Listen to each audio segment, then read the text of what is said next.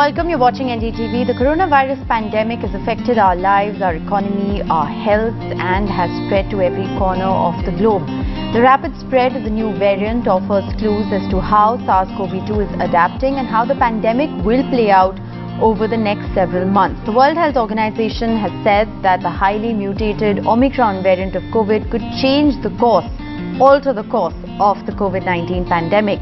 Now, due to the previous lockdown, the work from home culture, people's lifestyles have been severely disrupted. Many people have become physically inactive, developed irregular eating patterns, which has led to an unhealthier lifestyle and an aggravation of lifestyle-related diseases. A multi-sectoral approach, therefore, is needed to promote healthier diets and increase physical activity. This can help in slowing down the diabetes epidemic and heart diseases. Beat diabetes myths and facts will impact and help a large number of people to prevent or control metabolic disorders.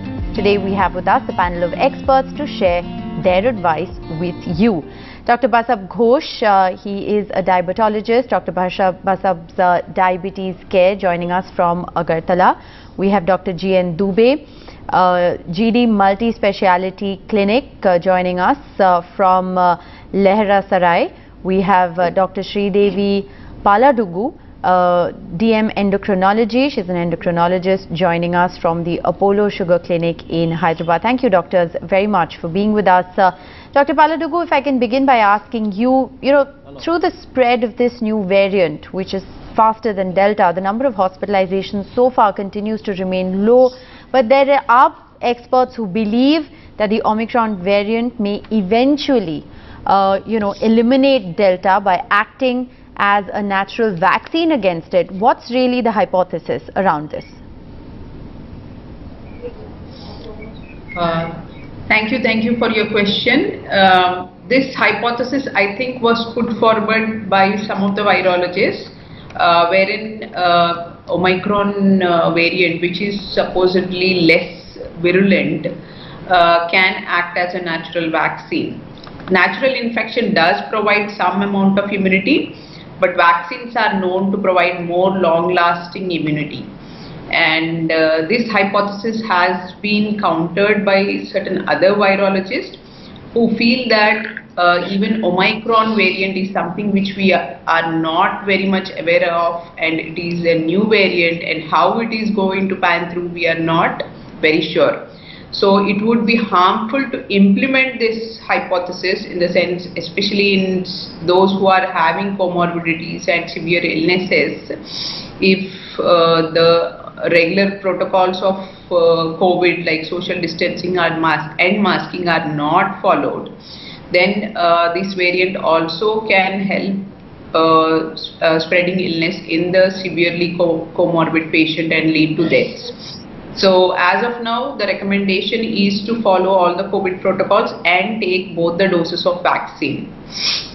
And whether Omicron variant is going to help as a natural vaccine or not, we'll have to wait and watch. All right, it is a bit of a wait and watch as more research, of course, is conducted on the new variant. Meanwhile, uh, Dr. Ghosh, what about vaccine booster doses? How does it help to reinforce the body's immunity towards COVID-19 and what really is the difference between a booster dose and a third dose of the vaccine if there is one? Yeah, uh, good evening. Uh, regarding booster dose of a vaccine, it's a supplementary dose followed by the regular dose of any immunizing agent for the complete population.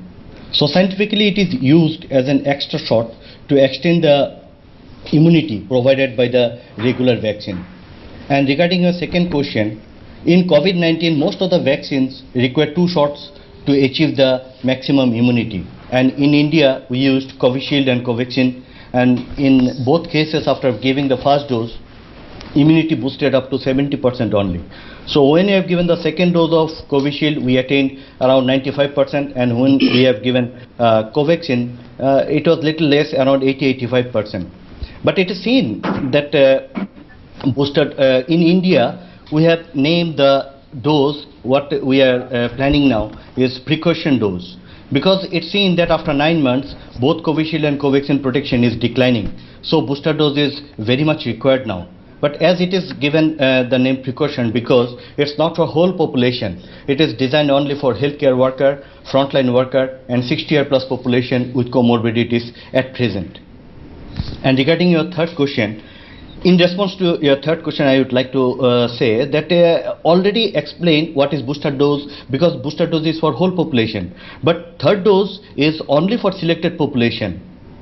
Here in COVID-19, it is observed that after some vaccines, immunity is not attained for uh, even after 28, week, uh, 28 days, that is 4 weeks. So 4 weeks, one uh, uh, third dose is required and particularly for immunocompromised people. So third dose at 4 weeks is given only to immunocompromised people to boost their immunity.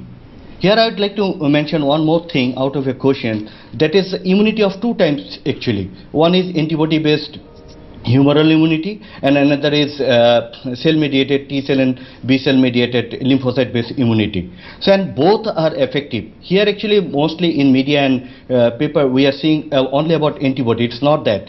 Uh, both are giving effective protection to all of us whoever is vaccinated. So we must remember all vaccines are effective and I request through your media that do not hesitate for vaccine. There is no contraindication. Please go for vaccination. Thank you.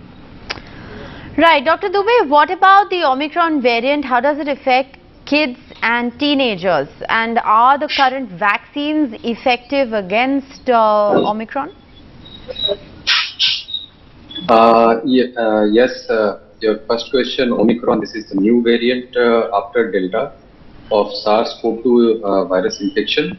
And this virus has spread almost all countries of the world and the symptoms of this uh, Omicron is the same as uh, the Delta infections uh, like fever, cough, sore throat, headache, myalgia, generalized body ache and fatigue.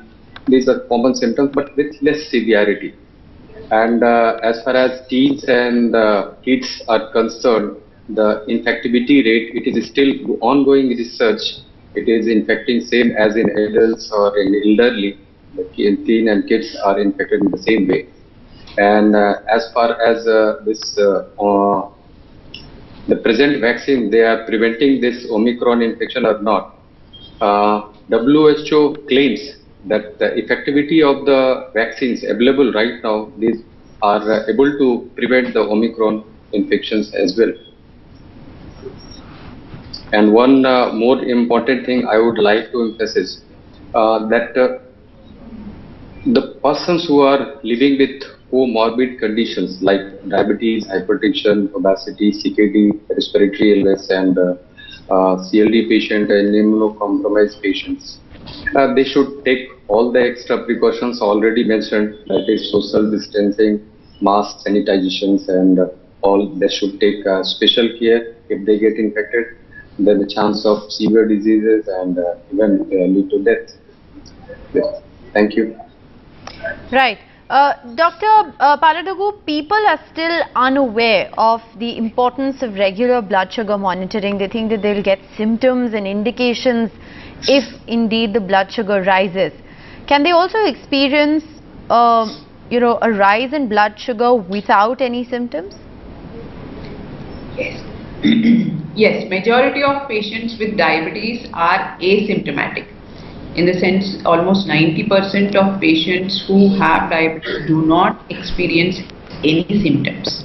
And the classical symptoms that we uh, talk about, uh, which include excess thirst, excess urination, excess hunger, are seen in a very uh, small percentage of people. And diabetes can be there for many, many years without causing any symptoms. And uh, it so happens that patients are admitted with a comorbidity due to diabetes like a heart condition or a stroke or a kidney problem and then they are uh, diagnosed as having diabetes. So it is not unusual to see patients with a complication of diabetes uh, presenting for the very first time as de novo diabetes.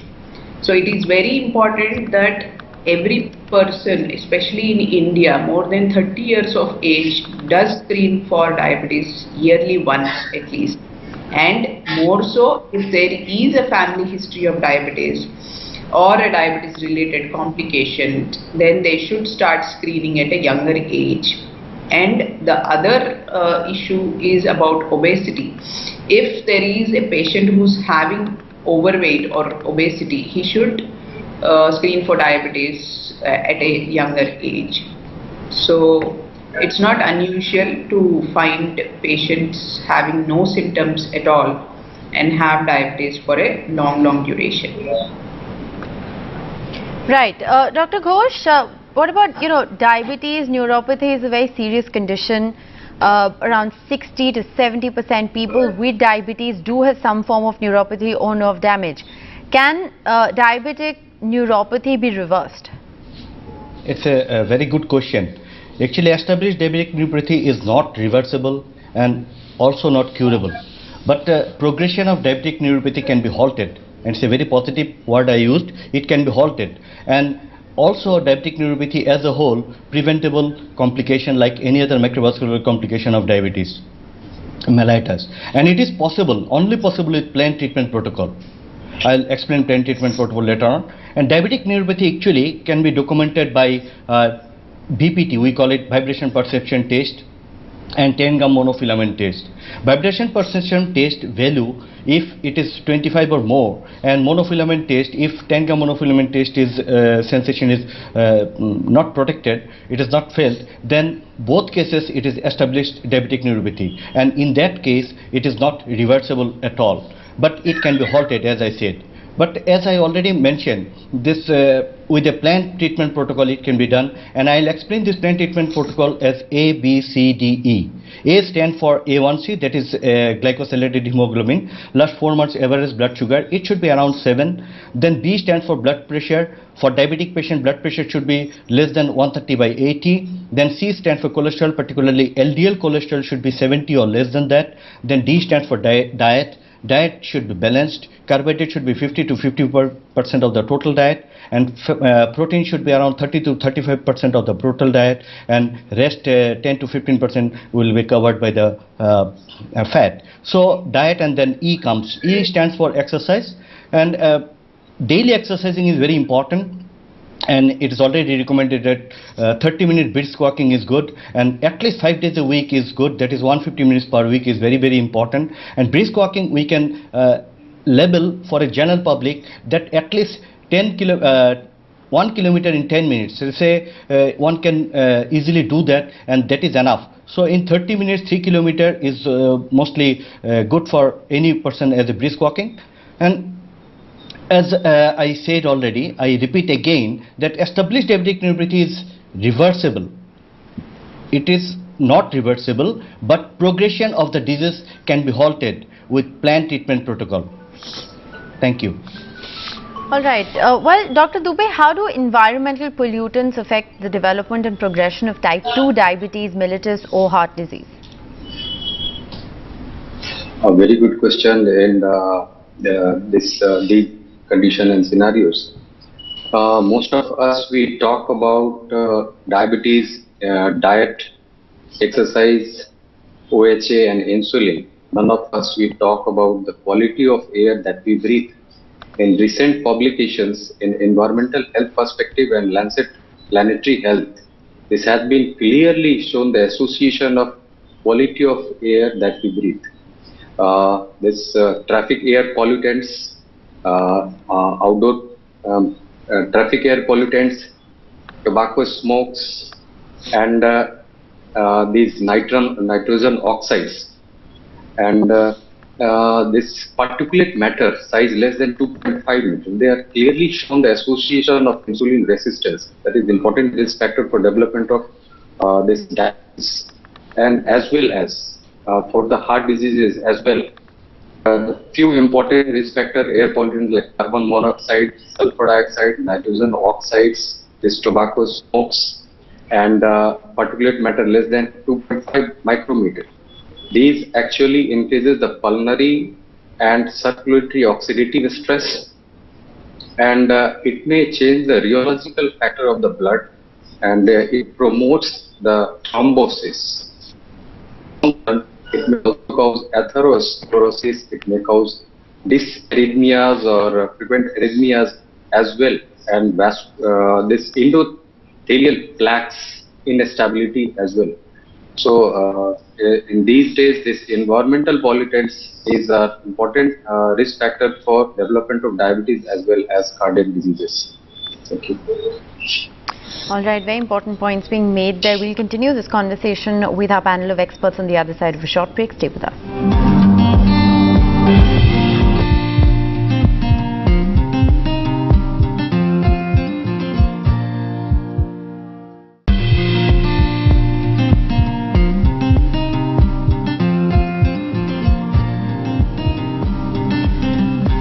Back. You're watching Beat Diabetes Myths and Facts. Uh, Dr. Paladugu, if I can come to you at the moment, when you get diagnosed with diabetes, there are several restrictions that come along with it. Can people with diabetes actively participate in outdoor sport, for instance? Yes, of course, people with diabetes can participate in uh, outdoor activities. In fact, in type 2 diabetes, uh, regular physical exercise, uh, whether it is in the form of a sport or uh, uh in the form of uh, time spent in the gym, uh, some form of physical activity is advised for at least half an hour to 45 minutes. For those individuals who are having type 1 diabetes, they also should indulge in moderate amount of exercise. But before uh, going for their regular exercise they should ensure that their blood glucose levels are normal or uh, take a small snack before they indulge in any moderate exercise. Uh, severe form of exercise uh, is better avoided in type 1 diabetic patients unless there is a regular monitoring. Type 2 diabetic patients should indulge in uh, physical activity every day All right, so physical activity there is a must. But what about diet? Dr. Ghosh, doctors advise people with diabetes to have a low glycemic index food. What is the glycemic index of food and why is it important for people to know about this? Oh yes, uh, glycemic index is the term that express quality of food in context of amount of glucose in it. The term first actually introduced by David Jankin in 1981, long back. The value of glycemic index is compared against the value of 100. And here 100% of standard of uh, 100 is determined by the standard of 100% of uh, pure glucose intake, where 100% would be immediately absorbed after taking that 100% of glucose. So that uh, uh, value is determined comparing with that 100 uh, glucose intake. So high value is 70 or more is uh, we call it high glycemic index and low is 55 or below and in between 56 to 69 is actually medium glycemic index diets. We must remember the diet containing more fiber are having uh, less uh, glycemic index values. So according to DASH diet that is the study regarding uh, dietary approach to systemic hypertension ideal uh, that planning has given that one third of the proportion of the total diet should contain green leafy vegetable and fruits.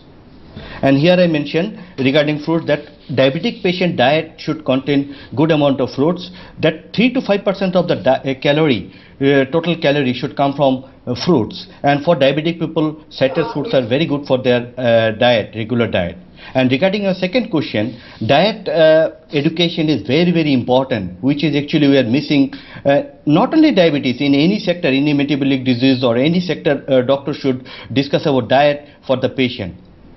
Uh, like uh, uh, glycemic index of banana is 51 but uh, commonly we believe that banana is a sweet fruit, don't take it. These are all myths are going on. 51 uh, glycemic index of banana, if it is uh, gach pakna, we call it in Bengali. If it is totally ripened, then only it's 51. If it is a half ripened, the glycemic index will be quite lower than 51.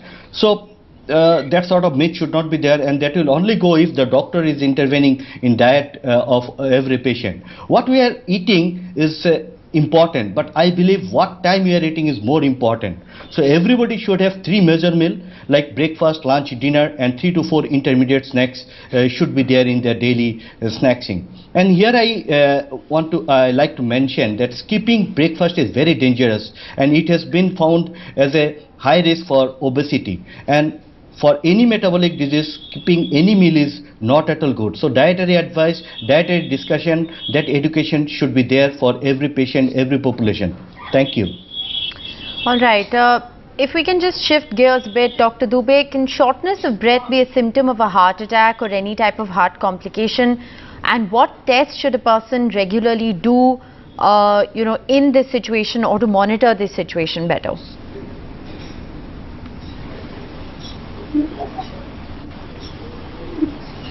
Hello. Yes. Uh, Uh, yes. Dr. Dubey, can you Uh, hear me?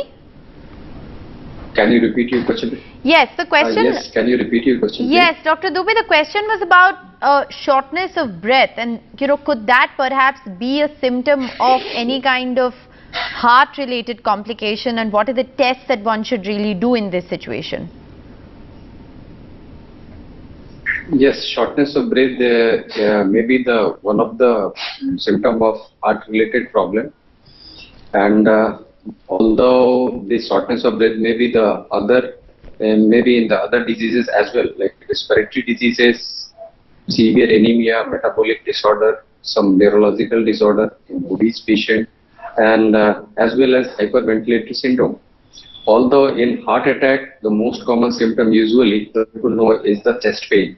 But in a special population like diabetic patients and elderly patient and uh, in female and chronic kidney disease patient, they may be uh, they may present with the shortness of breath only and other symptoms.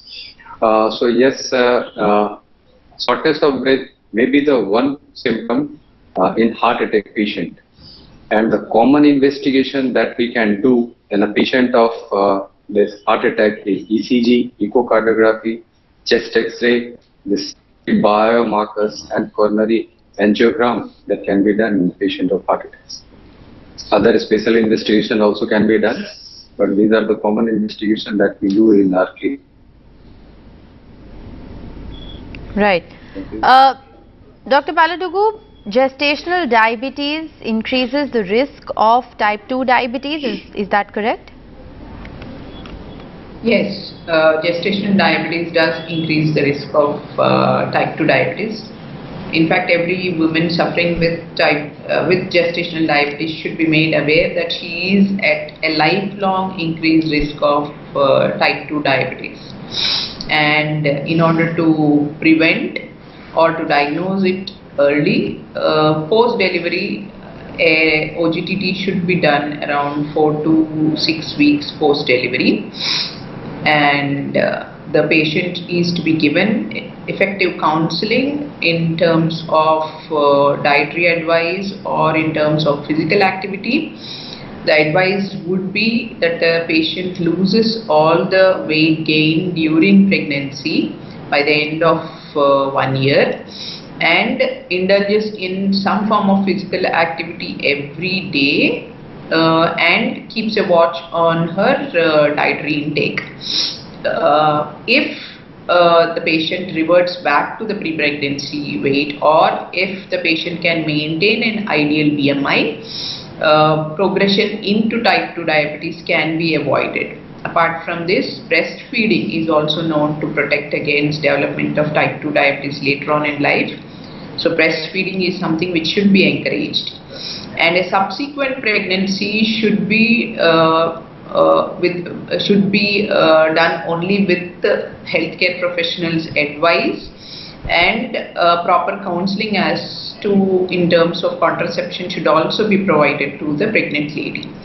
So uh, the effective means of avoiding type 2 diabetes later on in life are to maintain an ideal BMI uh, encourage breastfeeding and also encourage gap between two pregnancies. Thanks very much, uh, doctors, for joining us with all those important inputs. That's all the time we have on the show today.